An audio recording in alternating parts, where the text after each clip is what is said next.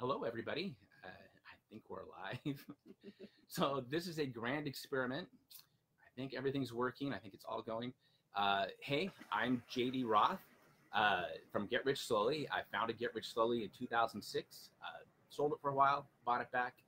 Now I'm back. Uh, I write about money. I've been writing about money for 12 years. Uh, haven't done much with the Facebook group, but we're working on that. And as part of that, we want to do these Saturday morning video chats, just about Yeah, but maybe not at eight in the We'll have to figure this out because I, my hair's so wet. Just got out of the shower.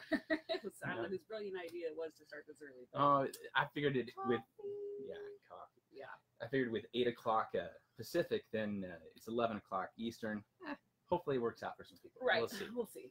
So uh, to kick things off, we thought we would talk about uh, relationships, relationships and money. Um, for me, when I write it, Get Rich Slowly, uh, I often write that it's not the math that's hard because the math of money is pretty easy, right? You just spend less than you earn and uh, save the rest. Uh, but what makes money difficult, what makes it difficult to build wealth, is actually the emotional stuff, the psychological stuff. Yeah. And a lot of that comes from relationships. It does, and the history and how you were raised. Um, Yeah. You know, both of us come from previous marriages where we we handled it differently than you guys did. Yeah. Um, yeah, there's a lot to it psychologically, and a lot of agreements and renegotiating things as Yeah. as situations change. You know, our our scenario has changed a lot the last couple of years. Yeah. We've gone in and out of different financial scenarios, so there's lots of negotiating that happens, and um, So, as a little background, uh, Kim and I have been together for it'll be seven years in mm, April. April. well, we're getting old too. We're getting old. we can't keep track of simple numbers. Yeah, we've been together about six and a half years. Uh, we were both married previously. Uh, I was together with my ex-wife for about 23 years. Um, I was with Rob for eleven. um, and so the way we handle money uh, in each of the relationships has been different.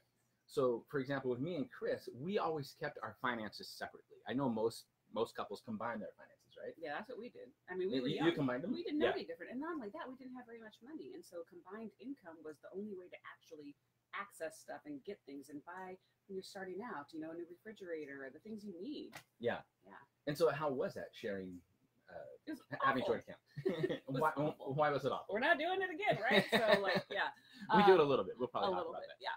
Um, it was not good for several reasons. Um, it was all we knew, but it got us into debt because he had different spending habits than I did. I am Mm. very frugal, very money conscious. I'm more of a saver than a spender. He was the exact opposite. Was raised very differently than I was, and just what he wanted, he bought.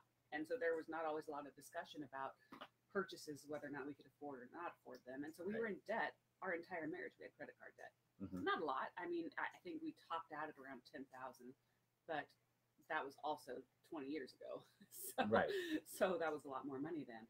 Um, but we had disagreements about spending money. The the only real arguments we ever had was in that, and I know this is true for lots of people, was around money and um, how we were spending it. And as a matter of fact, only one of us was in charge of paying the bills, and that was me. And so Yeah. I would get more frustrated, and eventually I just said, "Screw it, you you take the checkbook over." You know, because he was the one that had more issues with the spending. I wanted him to be more Yeah. involved in the decisions. And, and so, in my relationship, in my marriage with Chris, Chris was fantastic with money. Uh, from the very get go, she knew what she was doing. Um, theme here that the women know what they're doing. with money, and the men don't. I know that's not always true, but there's a theme in these, these two stories. Uh, but Chris was great with money. Uh, she'd always set money aside for savings, even from the uh, first oh, time she somebody's saying they can barely hear it, sweetie. Got everything Oh. turned up. Thanks, Sheila. Well, this is this is why we might need a microphone, and this is we'll we'll learn things as we go. Is it any better if we're closer? I don't know whether uh, they'll be able to respond quickly. Um, well, this is this is good to learn. we might have to stop and restart if people can't hear. Um, uh, so anyway, with uh, Chris, she was always exhibiting good habits. She didn't have credit card debt. Uh, it's a little better. Um, A little better. Okay.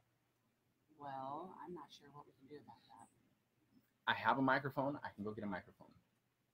Um, That's up to you, sweetie.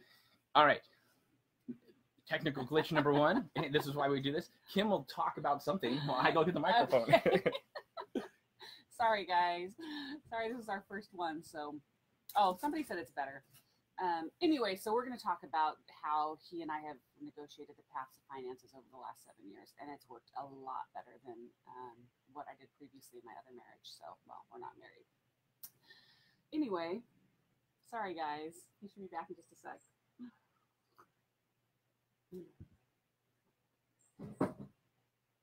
Better? Yes, better. Yes, get closer. Do you guys really, really want closer? I'm just kidding. I do want to say one thing though about um, I'm not sure what scenario you guys are in with your finances, but when the person who was frugal was in charge of the money is when we had the disagreements. When we put the person that wasn't frugal and kind of made him a little bit more conscious about the spending, it did it did help. Um, and we didn't have as many disagreements, but it still didn't really help our financial struggles because the psychology was still there behind why we were making the purchases or not. Is it it's a little better closer, sweetie? Okay. Okay. But now we have this. And if you guys have questions while we're going or something specific you want us to talk about, just please type it. We're we're trying to look. We need our glasses, I think, but okay. Now we have to figure out whether this actually connects or not. All right. I don't know whether that on. helps. The lights on. All right. Oh, hey, Kira says I can hear you guys loud and clear. Sweet. Maybe it's somebody else's computer, not ours. No, I'm just kidding. All right. So now we're back. Excellent. Um, So we were talking about how we were in our previous marriages, why Yeah. that did or didn't work. Um, so so with Chris, I was a spender. I always had spending habits. So you, you had talked about the patterns that we learned growing up. Yeah. And it was very true that in my family, uh, my parents didn't have a lot of money, right? right. and uh, when they did have money, they spent it. This is the behavior they modeled. That money was kind of a scarce resource. Uh, you don't have it, and when you do have it, you you spend it because you don't know when you're going to have it again. Right. And it didn't make any sense. But that's what we did. It was peaks and valleys Yeah. your whole childhood. Yeah. Kind of winded from running. um, so maybe we should talk. I want to just see if anybody has any specific questions. Will this video be uploaded to your Facebook page later? Yes, it will. I, I think I think the video just automatically posts. Uh, Like I say, it's a grand experiment. It'll be fun. Um, yeah. So I learned bad behavior from my parents. Uh, that you know, I watched Chris. Chris had totally different behavior in the marriage, and I could see that she was doing the right things, and what was what she was doing was working, and what I was doing wasn't working, and yet I still did stupid things like buy stuff on credit all the time. Yeah. I just spent money when I had it. it's the credit. It's the credit cards. It's the big. It's the big issue. You know, and I feel like since the crash, more people have gotten tuned into not overspending, living within your in your means. If you don't have the cash, don't buy it. I mean, that seems like a fairly reasonable principle, but I know it's not easy, and especially if you don't have a, a high earning um, income, or you have kids, or you have other things. And, and what if an emergency happens? You know, how how do you handle that kind of scenario? Yeah. Unless you've already built up that buffer. Um, which now at this stage in life, I have all those things under control. But in my twenties, Yeah. Uh, and when you're younger, I mean, you have less experience uh, in everything, in all aspects of life, whether it's money management or relationships. So I feel like now, uh, I'll be 50 next year. You're much younger than I am. Not much. no. Hi, Tony. Um, that I feel like you and I have a, a much different. Well, it's it's in some ways it's similar to the approach that I had with Chris in that she and I had separate finances. So you and I largely have Yeah. separate finances, but we do pool money for certain big purchases. Again, we've been together for six and a half years. Um, and during that time, we took a RV trip. It was a 15 month RV trip across the United States. It cost money to buy that RV. It cost money to go on that trip. And so to make that all work, you and I had to coordinate our finances Yep. together. Yeah. Um, you had to quit your job. the first time. Yeah, Ooh, that was Scary. that was a huge, huge step for me. It was huge because a I had to put a lot of trust into you right. that when we got back, you were gonna have my back until I got back. You know, Mhm. found another job Mhm. again, and I hustled my butt off that whole first year when we got back. But um, yeah, that was the first time we'd ever really combined finances, and it works just fine. We didn't have any issues with that. But we're also very well established. You know, I've got my own. It's never really been an issue for us. The biggest issue was that JD and I are in different financial brackets. You know, I still work a nine to five, and. I'm still saving for retirement, and you know, I still really watch my money and what I spend it on. I'm very frugal. I'm very money conscious. Um, We're outside. The dog's outside too.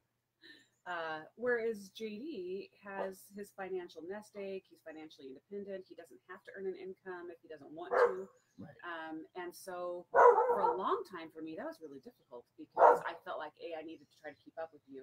B, I always wanted to contribute half. And you Right. know, you know the, the stuff we went through. Yeah. Um, So was it difficult for you at the start when we were just dating and Yeah. just getting to know each other? it was difficult the first like two or three years. It's only been the last couple of years that I don't always feel like I need to put down my credit card and pay half when we're at dinner or when we go to Costco. Or, Right. And the way that we worked it out is, well, at least in my mind, this is how it works. Is like when it comes to eating out for dinner or other things, like he'll buy the main meal and then I'll take us out for drinks after. Because like I can afford forty bucks, not Right. 140 bucks. Right, right, right. Same thing when we go to like games or events or whatever. JD will pick up the larger portion of the tab, and then I'll do the littler things that are still within my uh, budget. And then I still feel like I'm contributing, and um, it, it works for me mentally, so that Yeah. I don't feel like a and I think it works for me too. And I appreciate that you want to do half. I always have. I Yeah. always think it's amazing. Um, and yet at the same time, I'm happy to pick up the larger share because I know I do have more Right. resources right now. Uh, so when Chris and I uh, were first together, she and I Ah, split. Thank you. I'll lean closer. I just saw the note. yeah, and I tried to move it closer too. So, um, when Chris and I were together at, at the start, we would split everything 50 50. In fact, we did that for a lot of the marriage. We would, I kept a running total of how much I owed Chris or how much he owed me. It was usually me owing Chris. Uh, because remember, I was bad with money. I was bad with money for so long.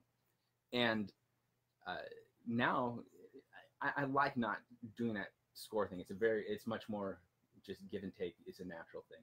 Yeah, and I feel like it, it all kind of balances out anyway. We have like a list on the the fridge, and Yeah.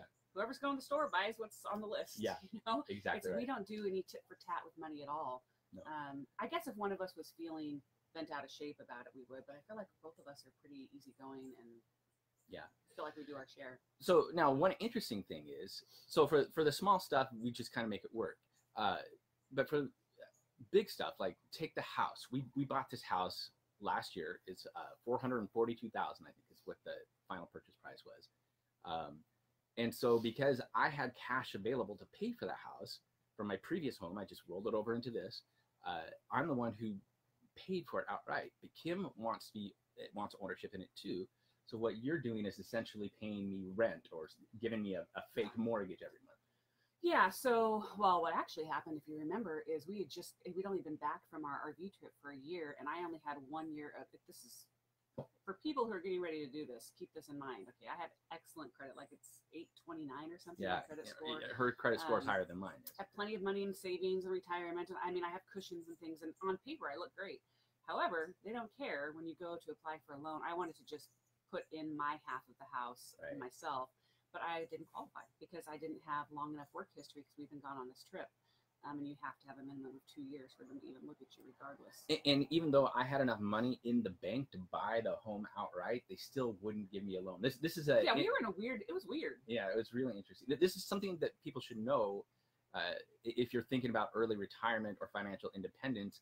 Is it, it can be tough to get a mortgage. Uh, in a lot of cases, if you don't have verifiable income, they won't give you a mortgage, Yeah. even though you've got the cash Yeah. in mutual funds or in the bank or whatever. They, they just won't give you the loan. Yeah, exactly. So our solution to that was that um, I pay some of the household bills, he pays some of the household Yeah. bills, and then I pay him what is essentially my portion of the mortgage every month. So Yeah. that's how it works out. And I. I keep a spreadsheet because I love my spreadsheets.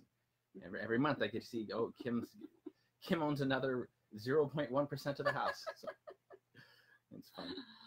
Um, but we don't have so this is one of the things I want to point out is and I know this is different for everybody is that we don't have fights about money. Like No. zero, not one. We've Mm-mm. never had an issue with money. Although your approach, and I'm sure Chris would verify Mhm. this, to money is much different than it was when you were in your marriage. oh, absolutely. Yeah, and so for us, doing it this way and having things separate, but where we both just pitch in, um, Y- You know, I, it, you brought up a great point. My approach to money is very different now than when I was younger. Because again, when I was younger, I didn't know any better. I was modeling the uh, habits I had learned from my parents. Uh, and so when Chris and I were first dating, and uh, I'm trying to remember, were we married? We were still living in Salem, so we weren't married yet. Uh, we were just dating, and I- wanted to get a house. Uh, I really wanted to buy a house, and she was very worried about that. She's like, "No way, I don't want to do a house when you've got this much debt." Um, I guess we were living in Canby for a little bit too. Um, anyway, it, it took a long time for her to come around that uh, it was okay to buy a house, even though I had credit card debt. But I can understand her concerns because the credit card debt, I never got rid of it uh, until about 10 years after we were married. That was a Yeah. long time. Yeah. And uh, probably be scary to. Yeah, it'd be scary to me. Yeah, Not absolutely. gonna lie. I'd be like, "Mm, I- I'm with Chris on this one. Yeah. Um, so do we want to talk about any any other topics specifically like savings and and uh, by the way for people who don't mind doing online savings accounts Ally bank is know, I love Kim. Kim I, I don't use Ally. Uh, Kim does. She, she loves it. She loves her USAA accounts too. Yeah. In fact, she loves her account so much that uh, we're going to talk about this in a few weeks. So our plan Oh, is to, yes, yes, we are. So our plan is to do uh, four of these uh, Saturday morning money talks as a test, basically, to see uh, see how they work, see if you guys like it, see if we like it, um, and I'm sure we'll get more polished as time goes on. But for the most part, we're just gonna be winging it like this. It's just kind of a casual conversation. Uh, so next week, I want to talk about the pros and cons of homeownership because we did buy this house recently, and it's it's been both good and bad. Um, the week after that, I want to talk about choosing the best bank accounts and credit cards. And this this is actually uh, you were the inspiration for that because you love your Ally account so much. I do. And then uh, the final one for this test run will be uh, the first of September, and we'll talk about uh, ways to earn more money, side hustles, and stuff like that. Oh, I love that. That's great. See, Kim doesn't even. We're just making this up as we go. I have a plan. Uh, I just get up, take a shower, drink my coffee, talk. That's right. Um, yeah. So let me let me see. I'm gonna flip through my my book here. Your Money: The Missing Manual. Wrote that almost ten years ago now. so trying to think about other things, uh, other important topics for uh, managing money in relationships. Well, this doesn't necessarily have anything to do with the relationship um, that you're in, but something that that I learned early on that was really really valuable for me was that you'll spend whatever you have or you think you have available, right? And so I worked for an employer once who was awesome, and he told me to just auto withdraw whatever amount you want to put into your retirement savings vacation fund whatever set up one two three different accounts and most people have auto deposit now, right? I think um, I've had it Yeah. for years, but I have it where money is taken directly out of my paycheck before I even see it. Um, I always make sure I have enough, obviously, to pay bills and stuff. But so then whatever's actually in my checking account is what I mentally think I have to live on for the month. It's Mhm. what keeps me on budget. It's um, it's a great way to, to save because you just forget you have that money and the next thing you know you've got money to stick in your retirement at the end of the year or Yeah. take that vacation or or emergency fund for your car or whatever And, and didn't you tell me the other day you're setting aside a certain amount each month for a Yes. future car How much is it? Six hundred a month?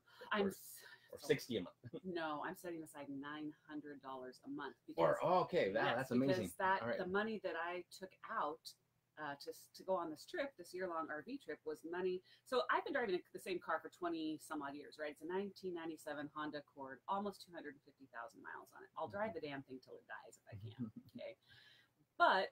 uh, What I did is once I paid it off, I just kept pretending like I had a car payment, and I put that money Yeah. into a high yield interest bearing account like a CD or money market, or or right now Ally has pretty good uh, savings rates and I was just going to buy my car outright. But then we decided, hey, let's take a trip around the U.S. in an RV, and so all that money went away Yeah. because I had no income for a year and a half. Um, so now I'm rebuilding that up. So I'm socking away a butt ton right now Yeah. for that I, I, I think that's smart. And uh, because my car's going to die. I mean, it's old. yeah, and I've got the Mini Cooper. The Mini Cooper is not exactly a spring chicken either. Um, so I want to talk a little bit about things that are uh, difficult, more difficult for us because we are not married. Uh, by the way, I've got a book here that I really love. I recommend for all uh, unmarried couples that are in long-term committed relationships. It's called Money Without Matrimony. It's out of print, but you can find it uh, for cheap on Amazon. It's Money Without Ma- Matrimony by uh, Sheryl Garrett and Deborah Neiman. Um, it's a great book about how to approach different topics when you're in a long-term relationship, uh, but you don't have the protections of marriage. So in our case, one thing that I think is more difficult for us than would be if we were married is health insurance. Oh, right. Um, God, that's expensive. yeah, uh, because I'm self-employed, I don't have a, a job that provides health insurance. Uh, because we're not married, I can't have health insurance uh, from you. Um, You get free dentistry. I do get free dentistry. So Kim is a dental hygienist. So uh, I- I do get free dentistry, which is good. um, yeah. So I mean, I have to pay for mine too, and it's it's ridiculous. I'm Yeah. sure there are people that don't have employer covered, uh, well, either retirement or or uh, medical expenses. and It's it's ridiculously expensive for for both of us. It's like a house payment. yeah, mine's three hundred sixty dollars a month, and I get very little out of it. Uh, th- that's because I'm a healthy person right now, and so uh, I mean, eventually Yeah. I'll probably get my fair share, but right now, not so much. Um, but the the health insurance remains a big issue for us. Um, But would that change if we were married? Neither one of us has coverage provided by an employer. Yeah, that, that's a good point. But I, I feel like uh, if us, our loud puppy is right there. Um, I- feel like if we were married, then if one of us, we, we could see. Right, I mean, if right, that were right, an issue, we could seek it out. Right, and a lot of people do have that. Yeah. So Um, another thing that gets interesting uh, when you're in any kind of relationship is estate planning. Like, uh, so when when I was married, it, it's just assumed that by default everything goes to your your spouse. right. But when you're in a long term committed relationship, uh, you've got to make that explicit. If, like in my case, uh, I, right now I want my estate to go to Kim, and so I had to make sure that I modified the will so it explicitly says that. Um, Yeah, we did it together actually. And the thing Yeah. that spawned it was taking this big long trip where we're like, "Yeah, who knows what's going to happen on the road. That's right. Yeah, I so we sat down that. and we both wrote out our wills. We wrote down, we did whatever paperwork was necessary to make sure that either one of us is handled in the case that the other one dies. So I just realized at the trip. So we went on this 15 month RV trip, and we were in close quarters for a long time, and it brought out some differences in the way that you and I spend. Uh, I am more of a spender. There, there's no question. Oh God, everywhere we went, he wanted to buy some little trinket, and I'm like, you realize we're in an RV, right? Limited space. If you have a shoebox and it fits in there, So I managed to uh, get my little trinkets that fit in the, the shoebox. Uh, you did. Yeah. So I would get little buttons whenever we went to a national park or whatever, little pins. Um, they, I, I had a tendency to want to, even in the RV, I wanted to buy books. I know. I wanted to, I wanted to buy T-shirts. Yeah, I started buying. T-shirts. Um, it's all emotional stuff with you. You always want to buy things that that uh, yeah, Yeah. that remind me of good times. Yep. Um, so, was that frustrating for you at all? Yes. Yes, it was. Yeah. Yeah. But you know, you got to decide is this the hill I want to die on, right? Like Right. most things that, that come up like that, he and I negotiate the waters really well. I mean, I think any long term relationship takes lots of renegotiating the scenario change. We already mentioned that. And you be you were reasonable. You were reasonable for the most part, but I really had to. I mean, every time we stopped somewhere, you wanted, and you get pissy with me when I point it out. And I'm like, do you really need that? You- Yeah. So you gotta try. I mean, it's whatever works for you to try to make sure that both people leave whatever scenario you're in satisfied. He got to take something home, but it was not going to drive me crazy being, you know. Yeah, a- and I think that even in day to day life, uh, I'm much less of a spender than I used to be. Uh, but I do tend to spend more, especially on certain things, Yeah. than you do or you would. As an example, uh, because I'm on my computer all day, I, I live on my computer. I'm the kind of guy who wants to buy a new computer frequently. Um, and when I'm eh, spending that much on technology, I think sometimes you're like, why are you doing this? Why are you getting a new computer? Why are you getting a new iPad? I've never known anybody who can fill up the space on their computer for one and be like, hey, my my memory's full. Time Yeah, for a yeah, new yeah. one. Well, I can't do that so much anymore, but I used to be able to. Um, Yeah, I do. I do question stuff like that, but it still doesn't be- become a point of contention with us. I just kind of file it away in the. Now, if we had shared, if we were sharing a bank account and we were sharing our finances, this would be an issue we would just be discussing more. But because Yeah. we don't, and it's just your money you're So, spending, how did you handle it uh, in your relationship with Rob? Like when he was spending and it we frustrated just you? we had to just keep having talks. But I was constantly frustrated, and I was very frustrated with the fact that we had debt because I'm a saver, I'm not a spender, and uh, yeah, it, it was it was a point of contention. Hey, Marla. Mhm. Maria. Oh, I thought that said see glasses. We're both getting old. We both need our glasses full time. The screen is blurry. Yeah, Um, so that's one thing, you know, being married or sharing, married or not married, whether when you're sharing, I think people that share their uh, bank accounts are going to tend to have more disagreements, or at least we did. Yeah. And, you know, Chris and I, we never really fought about money, uh, but she would get very, very frustrated. And I remember back when, early on in the marriage, the squirrels are, you know, she's got to protect us from the squirrels. Uh, early on in the marriage, uh, I really had this bad spending habit where I wanted to buy just anything. I, I couldn't wait. I had to have instant gratification. And I remember one time, uh, some new video game console had come out in the mid 1990s. And I went out and I bought it and I brought it home. And this is right in the middle of when I was my worst debt experience stuff. And Chris knew that I was struggling with the debt, and I came home with that video game system. And she was she wasn't irate, but she was so disappointed. And I can't. She and I never really had fights, but she was like, yeah. It, it, I had turned around. I took the video game system back. I didn't even look at it. And uh, Now, did like- you get mad at her for? I mean, because obviously you felt guilty and should returned it, but was your were your emotions directed at her or yourself or both? just general frustration with the world. For me, I always back then I always thought it was like the world doing stuff to me, and so I felt like I, I didn't have uh, a lot of money because I was unlucky and Yeah. I didn't get the right breaks, and uh, so I was frustrated that I had to take the video game system back. That I didn't really blame Chris. Um, I didn't really own it myself though that I was causing my own financial. It's like a huge moment, the aha moment when you finally own your own situation, and it gives you power. Yeah. You know, I mean, I get, I almost get so in the way that you have that kind of like addiction to purchasing, and it gives you that higher that satisfaction. I get the same thing from saving. Like I literally, there's this little, there's a little button on my USAA account. Every time I put a deposit, it makes this little ching ching sound.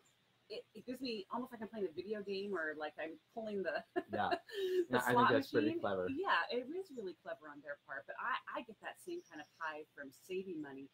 The deferred gratification um, financially for me, for some reason, I don't know if it's innate or the way I was raised or what, but it, it gives me huge satisfaction, which is good. And we balance each other out in that way too. You know, not that you need to worry about money as much as I do, but I do kind of check and balance you on things where I'm like, really? Yeah, absolutely. And you're right. Who doesn't want it? There's somebody's like, who doesn't, Who want, doesn't want a new computer all the Yeah. time? Yeah, I know. I do. And uh, so let's see. Uh, are there other topics that we should bring up here about uh, managing money in relationships? Or is this a good first first run? I can't think of anything. Does else. anyone have any questions or anything that you'd like us to cover? I'll give him like 30 seconds. You can tell a story. I'm only just not getting through my first cup of coffee, so no stories yet. Yeah, And, and uh, even though we don't have much prepared for this week and we're just doing it as a test run, my plan for the future is uh, when we do these, they are going to be more informal, but I will have some, try to have some takeaways uh, for viewers. So, like next week when we talk about the pros and cons of home, home ownership, I'll talk about the things that uh, you and I do that we think help make us better homeowners, maybe some things that we've done wrong. Okay, so, sounds like a plan. And of course, you guys can always send in your questions. absolutely. Um, like for next week's topics or things you want us specifically to hit or takeaways you want, um, and then we can all always make sure that happens as well. Yep. And then Maria just said, "Tell me about the glasses thing." That's because Maria wears glasses too. I don't know whether you've met Maria or not. I think I've met Maria. Mar- Maria and I Yeah. st- stood together. Yeah. Maria lives in uh, England, and she and I stood across the Prime Meridian together. Very cool. Last time I was in London. Interested in Tally's party. Jennifer Jennifer's Oh God, watching that's with her dog, and uh, yeah. So we've got we've got a little hound dog that we picked up on the RV trip, and uh, she's just anything that uh, she can smell, she wants to bark at yeah, it's true. or hear. Somebody wants to know why uh, you're not doing a podcast. Um, It's easier, huh? yes, Lower yeah. barrier of entry. You just turn it on and start talking. Well, I thought about doing a podcast. Um, and uh, honestly, I've recorded, I think, eight episodes for a podcast. Um, that was way, Really? yeah, when we were on the trip. Yeah, when I was starting Money Boss. So uh, I have a bunch of episodes recorded, uh, and, and I thought about it. It's uh, we'll see. We'll see how this goes. Yeah. We're testing the waters with this. I, I'm a blogger. I'm a writer. I like to write. Uh, so this other stuff is newfangled and it, it makes it tough. Tony wants to know if Tally's going to be on next week. I don't even know where she went, but at least she Yeah. stopped barking.